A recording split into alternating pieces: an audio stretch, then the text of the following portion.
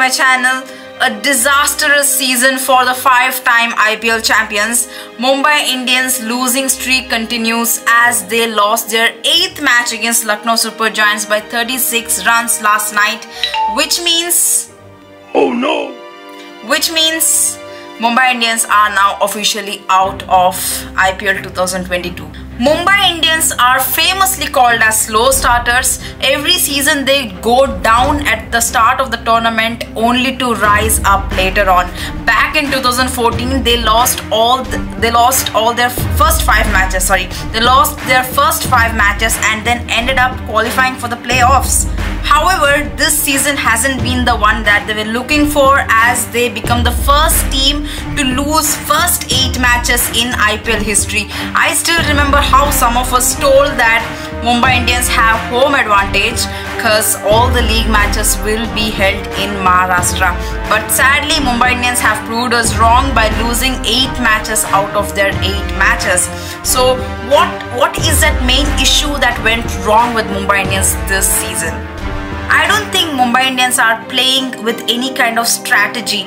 They are repeating their mistakes over and over again, uh, losing wickets, losing wickets in middle overs, giving away easy runs in death overs, and moreover, they don't even seem they don't even seem like as if they are putting effort to win the game. Like uh, like some of their five matches they have played so far, uh, which were against Delhi, Delhi, Rajasthan, Punjab, Lucknow, and Chennai Super Kings. You know, they could have easily won this game, but somehow they messed up the match, and now here they are with eight consecutive defeats. According to me, I think Mumbai Indians lost it in mega auction itself, spending 15.25 crore uh, on a young talent Ishan Kishan who has lots of weakness and then spending 8 crores on someone who is not available for the rest of the season that is Jofra Archer and then not picking Trent Boult who was the core part of pace attack for Mumbai Indians. So yeah one of the reasons should be uh, picking picking up wrong players in mega auction this year. Coming to the openers openers are continuously failing to fire up the start. Uh, rohit sharma is not able to convert convert good starts into big scores. Ishan Kishan has failed to fit into the role according to team's requirement.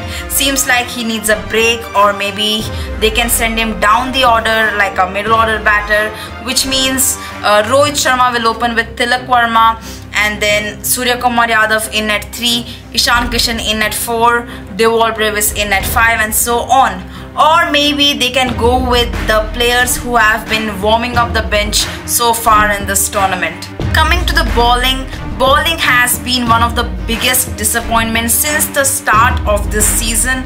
Uh, there's lack of sting in the bowling and seems like this is one of the weakest bowling department that Mumbai Indians has ever produced. Jasprit Bumrah looks pale, seems like he isn't getting much support from the bowling department. Uh, they have lost all of their matches and most of them are due to their death over bowling and they don't even have a good quality spinner in their side this time. So yeah, it was an utter fail in team selection for Mumbai Indians in this year's Mega IPL auction. To be honest, I think Mumbai Indians lack characters this year. The only player who is showing some intent is young Tilak Varma who is consistently scoring runs for his team and yeah even Surya Kumar Yadav even he has been quite consistent but you know you can't expect him to perform in every matches. So yeah some serious rethinking is needed from Mumbai Indians management to break this cycle of defeats since they are done and dusted this season. They can go with other players who have been warming up the bench so far like Mayank Markande, Tim David or maybe Junior Tendulkar in some of the upcoming matches and now that Mumbai Indians are officially out of race for playoffs uh, the only intention for them would be to register their first victory in this IPL edition. Out of 9 teams to play in this IPL season. Mumbai Indians has already lost to seven teams so far.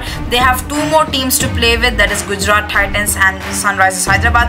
Gujarat Titans have been so consistent. Uh, yes, they have lost one match, and that one match they have lost against Sunrisers Hyderabad. Sunrisers Hyderabad didn't had a good start in this IPL season. They lost two back-to-back matches in the beginning, but then after that they have they have been unstoppable. They have won back-to-back five matches. So basically, both are unstoppable. They are they are having the winning momentum. So it's really going to be another tough challenge for Mumbai Indians to play against these both teams.